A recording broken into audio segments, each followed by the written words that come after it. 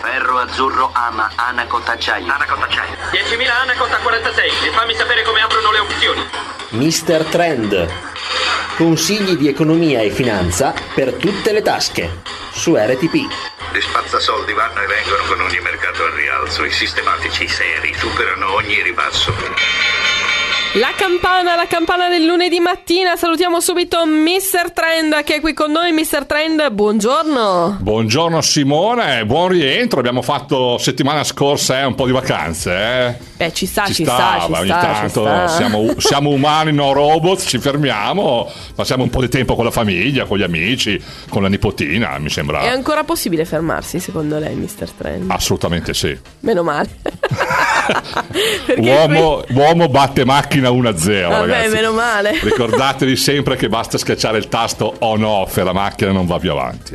Giusto, io sono pienamente d'accordo con lei, Mr. Trend. iniziamo con la filosofia oggi, eh? Sì. non lo so, vabbè, insomma, no, vediamo di Anche parlare perché con il qualcuno, nostro beh, qualcuno dice che il denaro non dorme mai. Mi fermo. assolutamente, ma lui non dorme mai, è un problema suo, non è un problema nostro. Grande Mr. Trend. Allora, direi che ci sta un saluto a Matteo Astolfi che è Country Head of eh, in in Italy di MNG. Buongiorno Matteo Astolfi. Buongiorno a lei e buongiorno a tutti gli ascoltatori.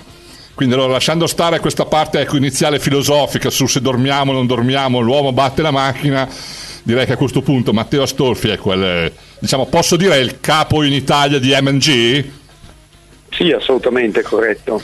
Per cui a questo punto mi sembra ecco, una breve presentazione sull'azienda MNG e quindi vabbè, chiaramente siamo nel settore del risparmio, è il nostro ultimo appuntamento prima del salone del risparmio, per cui temi, temi caldi ecco. Sì, temi assolutamente caldi. La società in effetti nasce in Inghilterra, a Londra, nei primi del Novecento, quindi abbiamo una lunga storia alle nostre spalle. Da questo punto di vista ci fa piacere essere qui nella settimana del Salone, che è un appuntamento, direi l'appuntamento più importante in Italia per gli addetti al settore e all'industria del risparmio gestito. Eh, le iniziali della società MEG eh, curiosamente volevano significare Municipal and General perché gestivamo ai primi del Novecento in Inghilterra eh, le municipalità locali, quindi proprio i singoli comuni, le singole province dell'Inghilterra. Nel 1931 la società lancia il primo fondo di investimento in Inghilterra e poi veniamo agli anni più recenti, solo nel 2003-2004 abbiamo aperto in Italia insieme ad altri paesi europei. Quindi in Italia la nostra presenza ormai da oltre dieci anni, abbiamo un team basato a Milano di 20 persone abbiamo circa oltre 10 miliardi di euro in gestione in Italia, quindi risparmi che i risparmiatori italiani ci hanno affidato e di cui volentieri ci impegniamo al meglio per gestire. Anche la presenza a questo punto di Matteo Astolfi all'interno di MNG non è recentissima, ecco, non, forse ecco, non, non se- non è dall'inizio, ma comunque da un po' che è in azienda. Sì, io personalmente sono da otto anni, quindi dal 2008, un anno che tutti ci ricordiamo come l'anno della grande crisi, e quindi diciamo, è stato subito un periodo impegnativo e quindi ho fatto otto anni giusto due mesi fa a febbraio. Ecco, quasi, quasi una candelina allora in diretta, ecco, spegniamo le candeline allora in diretta. Beh, a questo punto ecco una mm, domanda così, forse ecco, spontanea dal discorso 2003 MNG ecco, si sposta in altri paesi dell'Europa. Il, eh, domanda di curiosità, il peso dell'Italia all'interno dell'azienda è a- com'è? Ma il peso dell'Italia è molto importante perché noi rappresentiamo, grazie ai risparmiatori italiani, siamo il secondo paese al mondo più importante per la società dopo l'Inghilterra. Quindi un grande successo, un grande riconoscimento dai colleghi di Londra per il lavoro che abbiamo svolto con i colleghi del team italiano e sicuramente vediamo ancora molte prospettive nel mercato italiano. Ricordiamo che la propensione al risparmio del popolo italiano è tra le più alte al mondo in assoluto. Per cui il terreno allora è Quindi- fertile, ecco, quindi cioè, giustamente. Sì, diciamo che anche per dare qualche numero, qualche Sì. idea dei tre- oltre 300 miliardi che gestiamo, questi 10 che gestiamo dall'Italia, gli altri paesi sono abbastanza staccati, vedono uh, la Spagna, la Francia, la Germania vengono decisamente dopo l'Italia nel mondo MNG quanto a risparmi dei singoli paesi. Quindi siamo molto contenti dei risultati, ma come dicevo e come eh, cercheremo di riaffermare anche questa settimana al Salone del risparmio, vediamo ancora molte prospettive eh, positive per il mercato italiano tenuto conto di tutto lo scenario finanziario internazionale. Allora a questo punto ecco, due parole ecco, sul, ehm, diciamo, ecco, sull'importanza ecco, l'obiettivo della trasmissione di Mr. Trend in effetti il primo punto forse è veramente quello di riuscire a fare educazione ecco, le interviste che facciamo con i nostri ospiti sono proprio quello di riuscire attraverso anche le parole dei nostri ospiti di fare sia eh, educazione che chiaramente ecco, far avvicinare il, il mercato ecco, di chi gestisce i propri denari al radioascoltatore quindi ecco, una radio generalista in modo tale che più si è conoscenza di chi fa al meglio questo mestiere, sicuramente più si ha confidenza. Eh, buono l'idea del sogno del risparmio, ecco MNG è impegnata magari in altre attività di educazione finanziaria o comunque che, eh, che, che idea ha eh, MNG di quelle che sono poi tutte le attività di educazione finanziaria per il risparmiatore? Arrivando anche da Londra dove la cultura del risparmio, me lo dico io, è un po' più alta rispetto in Italia, penso. Ma sì, diciamo che eh, tra i motivi per cui siamo ottimisti sulle possibilità, le potenzialità del mercato italiano è anche in buona parte legato proprio all'educazione finanziaria. Pensiamo ad esempio che eh, questo arriva da decenni di investimenti proprio in educazione e pensiamo che molte professioni in Inghilterra una infarinatura, una cultura di base abbastanza semplice ma comunque importante in altri paesi, in Inghilterra in particolare, sia abbastanza presente, laddove in Italia solo recentemente ci sono state alcune iniziative interessanti, tra cui anche sicuramente quella del Salone, per sì. cercare di diffondere un pochino di più la cultura finanziaria. E la cultura finanziaria va poi di pari passo anche un pochino con l'orizzonte temporale. Noi distinguiamo sempre, cerchiamo di uh, far ragionare anche i nostri clienti sulla differenza tra eh, lo scommettere, fare trading di breve periodo e invece investire a lungo termine. Sono due concetti molto diversi, noi ci avvaliamo e cerchiamo di fare il meglio sul secondo di questi due, uh, diverso è fare diciamo, trading eh, di breve periodo o piccole scommesse di piccolo cabotaggio e su questo devo dire che l'Inghilterra effettivamente da tanti anni che hanno investito cercando di diffondere la cultura finanziaria un po' a tutti i livelli, fin, a partire fin dalle scuole anche elementari, medie e poi il liceo e così via. Un Quindi sogno per l'Italia vista, forse. Più... Un sogno per l'Italia, se dalle scuole riusciamo a... Ma è un sogno, però tante volte poi i sogni si possono avverare, quindi Uh, siamo qui, uno dei nostri compiti istituzionali è anche proprio questo, quello di cercare di diffondere il più possibile una cultura dell'investimento a lungo termine che si differenzia e si possa distinguere invece appunto dal, dal trading e dalla scommessa di breve. Non sto dicendo che uno debba per forza sopraffare quell'altro, si tratta di due tipi di attività molto diverse dal nostro punto di vista. Assolutamente sì, eh, dico sempre, non andiamo in giro vestiti tutti con gli stessi abiti, non andiamo tutti in vacanza nello stesso posto, quindi c'è chi preferisce la montagna, chi preferisce il mare, chi preferisce vestiti eleganti, chi preferisce vestiti comodi, quindi uno non annulla l'altro, forse ecco però bisogna riuscire ad appro- avvicinarci a quello che forse è il, il sistema o il metodo di investimento eh, che più forse si avvicina nostri, alle nostre caratteristiche senza pensare che questo lo dirò fino a stancare i nostri ascoltatori, non è automatico poi quelle che sono le pubblicità che facciamo trading e quindi guadagniamo i soldi che ci pensano di chi fa trading per mestiere e ci sono, sono pochi, lo, pochi che hanno risultati e non vediamo ecco, questa cosa qui come l'uovo dalle grine d'oro. Poi se noi siamo persone che abbiamo in effetti altri mille lavori e abbiamo anche del risparmio, forse se poi ci affidiamo a, adesso consulenti, promotori e quindi a società poi che gestiscono i nostri denari, forse meglio e che ne sanno un po' più di noi senza farci false illusioni. Giusto? Sì, diciamo che uno dei concetti sempre alla base del nostro lavoro è quello uh, molto semplice, cerco di banalizzare, ma per... Uh, no, no, ci sta, arriviamo con messaggi chiari che poi ecco, sono più è, efficaci. È, quello, è sempre quello di non mettere tutte le uova nello stesso paniere, Uh, ricorderò sempre da piccolo una persona che uh, accompagnava dei bambini che era stata appunto a fare la spesa e scivolando sul ghiaccio ha fatto la frittata. Cerchiamo di non mettere tutte le uova nello stesso paniere perché rischiamo altrimenti di fare questa frittata e alla fine non avere i risultati sperati. Cerchiamo di differenziare, di diversificare i nostri investimenti su titoli, asset class, eh, azioni, obbligazioni su un po' tutti i mercati del mondo. Perché nel nostro mestiere vediamo sempre molto spesso un'attività che chiamiamo Uh, diciamo, l'orientamento sul mercato, sul settore che si conosce, per cui ad esempio un lavoratore nell'industria tecnologica è portato a investire in aziende tecnologiche perché crede di conoscerle di più. È sicuramente vero, ma rischia magari di perdersi delle occasioni da altre parti. Quindi cerchiamo di avere investimenti a lungo termine ben differenziati e ben diversificati tra di loro, non mettere tutte, tutti gli investimenti in un unico basket, in un unico paniere e cerchiamo di avere una buona diversificazione affidandosi sia a diversi distributori ma anche a diversi gestori del risparmio.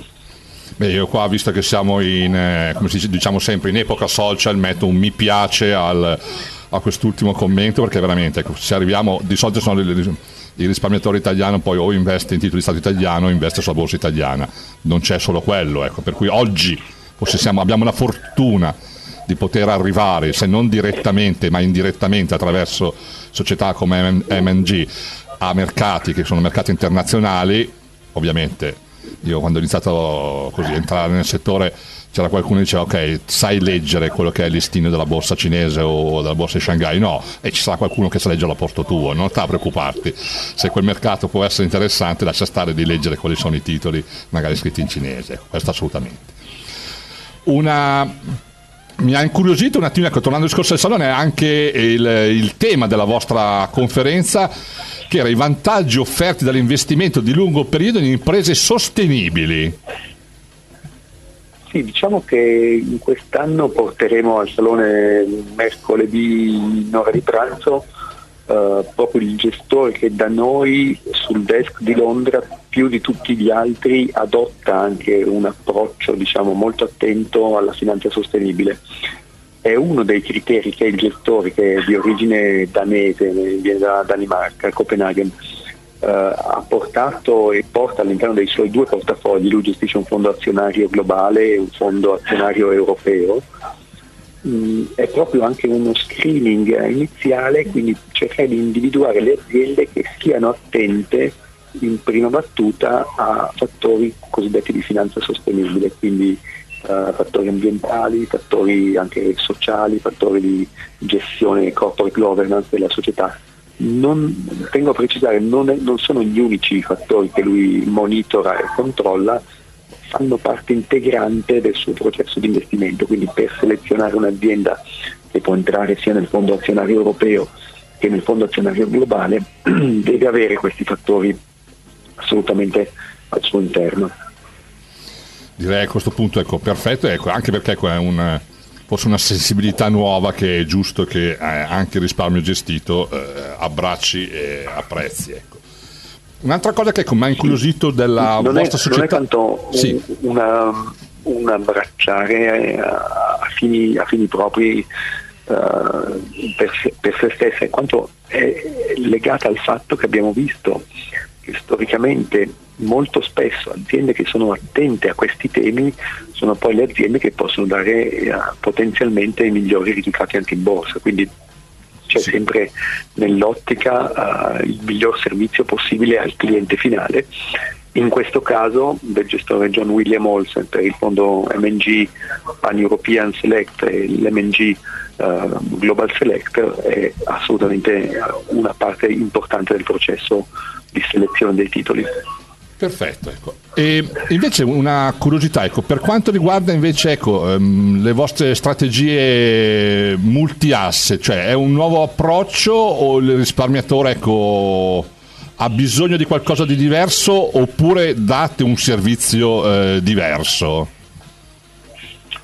Allora, eh, negli ultimi anni si è un po' diffuso questo termine multi-asset che significa semplicemente investire in diverse asset class, quindi essenzialmente azioni, obbligazioni, liquidità, eccetera. Una volta si chiamavano bilanciati, che cosa è cambiato e che cosa è un po' diverso nel nostro approccio. Il fatto che abbiamo visto negli ultimi anni molte di queste classi di attivo, azioni e obbligazioni, in alcune fasi si comportano in modo molto simile.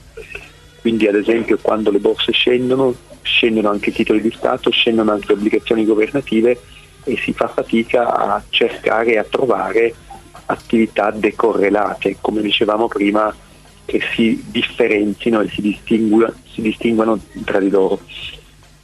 Quindi nel nostro approccio abbiamo cercato di importare da uh, scienze diverse dalla nostra, uh, diverse dalla scienza delle finanze, e mi riferisco alla psicologia degli investitori, quindi a scienze più di tipo umanistico e comportamentale. Sì. La psicologia sostanzialmente, e cerchiamo nel nostro approccio ai fondi multi-asset o bilanciati di sfruttare anche eh, proprio la psicologia degli investitori, essenzialmente ai due estremi si trovano da una parte il panico la paura, dall'altra l'euforia e cercando di sfruttare questi episodi che si verificano nei mercati molto spesso abbiamo avuto la possibilità di andare a investire in uh, classi di attivo, azioni e obbligazioni che magari per proprio uh, panico e paura erano completamente dimenticati da gran parte del mercato.